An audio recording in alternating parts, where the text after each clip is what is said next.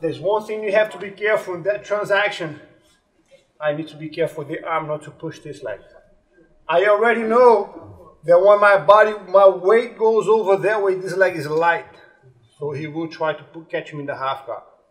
Knowing that once I'm here, the moment that I'm there, I will fight against the arm straight away. I already know that a good guy will push that leg because that's the same way then the guard when the guy brings the second leg up, he's vulnerable. That's my point of vulnerability here. Now that my weight comes off. Go behind it straight away and pull. Straight away. You're here. He's there. I'm already expecting to go against it, and now I'm starting to pull.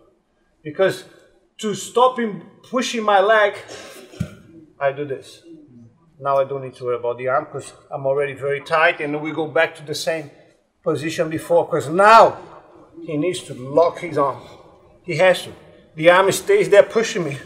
Oh, he taps. No defense. So he needs to lock. So from here, we get to here. We still have to deal with this. Still hard, strong guy. He's going to hold really tight. So when I'm on this position, I try to stay here as long as I can. I don't do this.